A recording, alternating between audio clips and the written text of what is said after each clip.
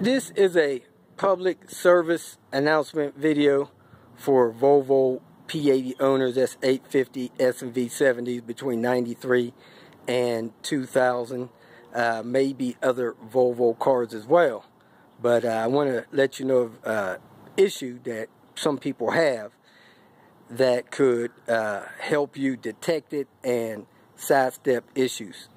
Not sure if many of you know it or not, but the Volvo standard radiator uh, also is used to cool the transmission fluid and if the car is turbo it's used to cool the oil.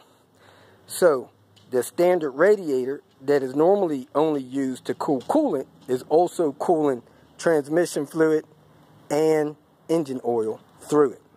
Now if you look down there, you'll see a little clamp there as soon as this comes in focus. Somebody clamped the line on there, but that is a transmission cooler line. And that transmission cooler line goes to the transmission. Well, the weird, strange problem is sometimes these radiators, before failing and leaking externally, they will fail and leak internally. I'm assuming that the cooling lines run along with the transmission lines and they rub together somewhere inside that core. And when they do that, somehow they wear a hole into each other and start to transfer fluid. Uh, the transmission system has a lower pressure than the cooling system, so coolant actually transfers into the transmission. Now, when this fluid transfer happens, it's normally a gradual process.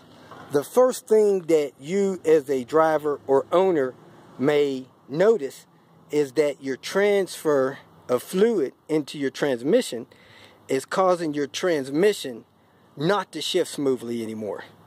So you have a transmission is starting to have uh, shifting issues, don't ignore that warning. What you need to do is drive the car a little bit, check the transmission as outlined in the owner's manual or in the link provided in the about comments.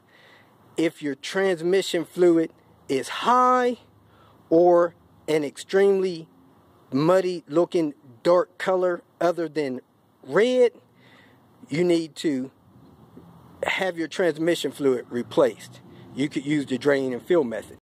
So, if you drain your transmission fluid and you see any milky looking substance, kind of like uh, chocolate milk or something like that, there's a chance that coolant is mixing in with the fluid and you need to stop driving that car immediately, get your radiator changed, and get your transmission fluid drained and flushed.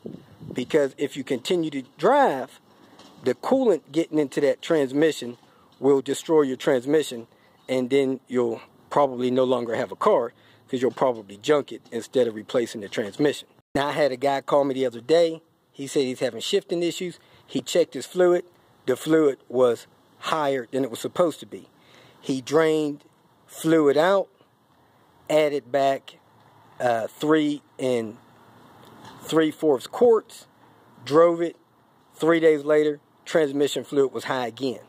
So he stopped driving, replaced the radiator, flushed the transmission fluid, uh, a total replacement of the fluid, disconnecting the uh, cooler lines, and he's good to go, no more issues. So I just want you to be aware that it is possible for coolant to transfer into the transmission through your radiator and uh, don't ignore shifting problems and check your transmission fluid level.